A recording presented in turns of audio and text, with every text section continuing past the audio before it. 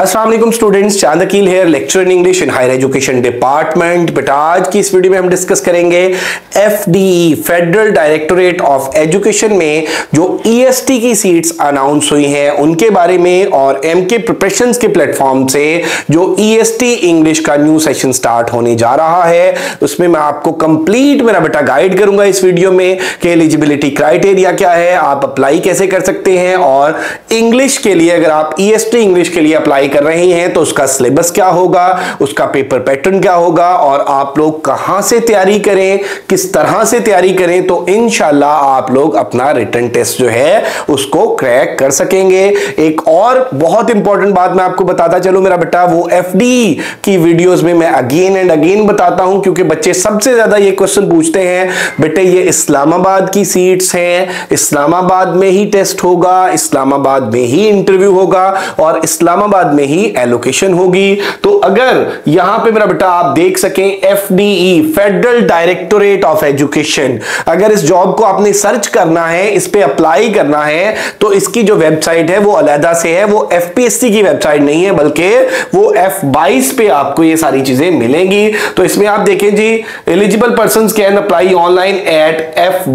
ये ये मेरा बेटा एफ़ ये वेबसाइट है। ये लिंक यहाँ पर दिया हुआ है। यहाँ पर जाकर आप अपने अपनी जो एप्लीकेशन है, उसको सबमिट कर सकते हैं। अब इसमें इसकी अगर हम डिटेल्स की बात कर लें तो ऑनलाइन अप्लाई होगा और एफ़ बाईस पे आप जाएँगे एप्लीकेशन वहाँ पर मेरा बेटा चलान डाउनलोड करेंगे, चलान फिल करेंगे, उसको पे करेंगे और उसमें मेरा बेटा साथ आप अपना फॉर्म सबमिट करेंगे फॉर्म को फिल करेंगे फॉर्म सबमिट करेंगे। हार्ड कॉपी भेजने की ज़रूरत नहीं है और इसके सिलेबस और रिकमेंडेड बुक्स की बात करेंगे, इसके मार्क्स डिवीज़न और पेपर पैटर्न की बात करेंगे। एलिजिबिलिटी क्राइटेरिया के हवाले से मैं आपको बताता चलूँ मेरा बेटा कि इसमें एजुकेशन जो है, वो कंसर्न सब्जेक्ट में, जैसा कि हम यहाँ पे डिस्कस कर रहे हैं इंग्लिश को तो आपका बीएस इंग्लिश या मास्टर्स इन इंग्लिश होना चाहिए। रेलिवेंट सब्जेक्ट में आपके 16 इयर्स ऑफ़ एजुकेशन होना चाहिए। और इंग्लिश के एस्पायरेंट्स को मैं बताता चलूँ कि इससे कोई फ़र्क नहीं पड़ता। आपका जो मास्टर्स या बीएस है, वो लिंग्विस्टिक्स में है लिटरेचर में है, या टेसोल में है,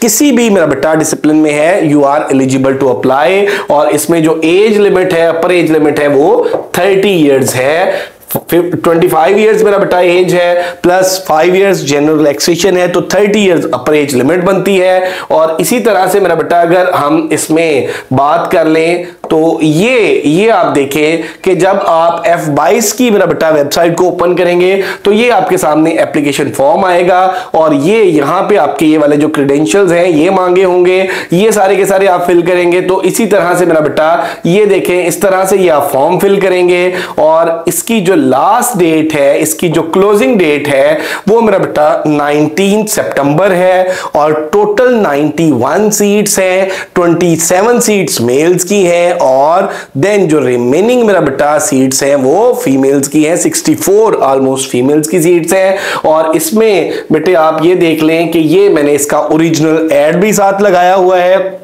और इस एड में अगर इंग्लिश की हम सीट्स की बात कर लें तो इंग्लिश की जो सीट्स हैं, वो मेल्स और फीमेल्स की अलहदा अलहदा सीट्स हैं। और इसमें आप ये देखेंगे कि इंग्लिश की अगर हम मेल्स की सीट्स की बात कर लें तो फाइव सीट्स हैं। इंग्लिश की मेल्स के हवाले से ये फोर्टीन स्केल्स की सीट्स हैं एलिमेंट्री स्कूल टीचर्स और फीमेल की जो सीट्स हैं, वो टेन है। और इसमें आप लोग अप्लाई कर सकते हैं बेटे नाइनटीन सेप्टेंबर से पहले। So if you are eligible आप मेरा बेटा 19 सितंबर से पहले पहले अप्लाई कर लें और इसमें एम के प्रिपरेशन के प्लेटफॉर्म से हमारा न्यू सेशन स्टार्ट होने जा रहा है। और उसमें मैं आपको बताता चलूँ न्यू सेशंस की सारी डिटेल्स बताने से पहले कि ये बात मैं पहले भी आपको बता चुका हूँ कि रेलेवेंट सब्जेक्ट में आपका जो मास्टर्स होना चाहिए या बीएस होना चाहिए, यानी 16 इयर्स ऑफ़ एजुकेशन और सेकेंड डिवीज़न हो थर्ड डिवीज़न अप्लाई नहीं कर सकते। और इंग्लिश के लिए मेरा बेटा बेटा, अगर किसी की थर्ड डिवीज़न है, साथ फिर उसके पास वो जो डिप्लोमा वन ईयर का होता है, वो होगा तो then you are eligible to apply और इसमें 18 टू 25 इयर्स है और maximum age limit upper age limit डाल के तो वो मेरा बेटा 30 इयर्स बनती है। फाइव इयर्स जनरल एक्सेशन सबके लिए होती है। अब हम आ जाते हैं इसके, मेरा बेटा पेपर के हवाले से। अगर इसके पेपर पैटर्न की बात कर लें तो इसके पेपर में देखें जी, तीन पोर्शन है इसके पेपर में। पहला जो पोर्शन है, वो है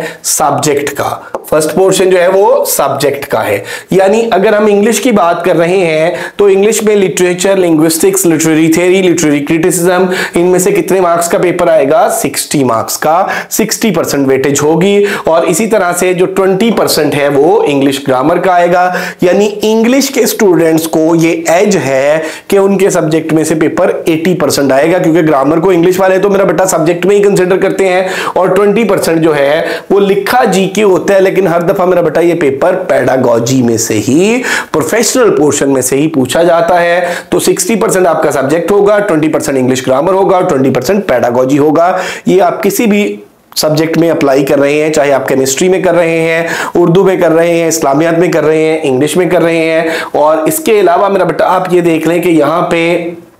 नेक्स्ट अगर हम इसकी बात कर लेते हैं तो आप इस स्लाइड में देख सकते हैं कि हमारा एम के प्रोफेशन के प्लेटफॉर्म से इसका जो सेशन है, वो ट्वेंटी सितंबर से स्टार्ट होने जा रहा है। और एफ़ e का जो पेपर है, ये मेरा बेटा क्लोजिंग डेट के बाद तकरीबन कोई दो माह का टाइम होता है, डेढ़ से दो माह का। उसमें मेरा बेटा आपका जो पेपर है, वो अनाउंस हो जाता है। और इसमें देखें जी कि हमारा पूरा सेशन जो है, इसके फाइव चार्जेस होंगे। और इसमें पेपर के जो तीनों पोर्शन हैं वो हम कवर कराएँगे और इसमें ट्वेंटी सितंबर से बेटे ये स्टार्ट होगा और इसमें देख लें कि अगर मैं यहाँ पे सिलेबस ब्रेकअप आप लोगों के साथ डिस्कस करूँ इंग्लिश का तो फोनेटिक्स फेनोलॉजी पाँच नंबर मॉर्फोलॉजी दो नंबर सेंटेक्स पाँच नंबर और सिमेंटिक्स एंड प्रेगमेटिक्स चार नंबर डिस्कोर्स चार नंबर सोशियो लिंग्विस्टिक्स पाँच नंबर लिटरेरी टर्म्स पाँच नंबर लिटरेरी डिवाइसेस चार नंबर पोइट्री एंड पोइट्स चार नंबर और इसी तरह से मेरा बेटा ड्रामा एंड ड्रामेटिस्ट जो है चार नंबर नंबर नॉवल नॉवलिस्ट जो है वो चार number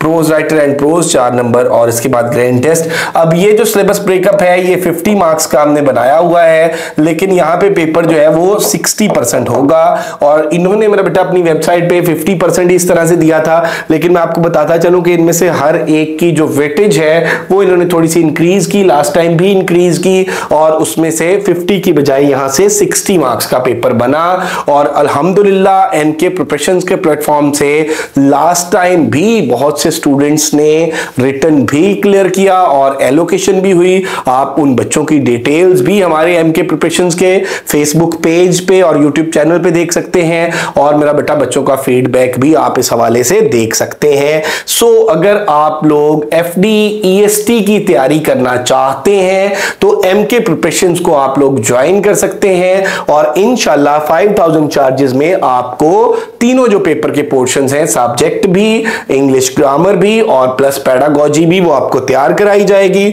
और रजिस्ट्रेशन के लिए इंग्लिश की रजिस्ट्रेशन के लिए आप इस नंबर पर कॉन्टेक्ट कर सकते हैं। Zero triple three two six zero five zero four five thank you very much stay blessed Allah Hafiz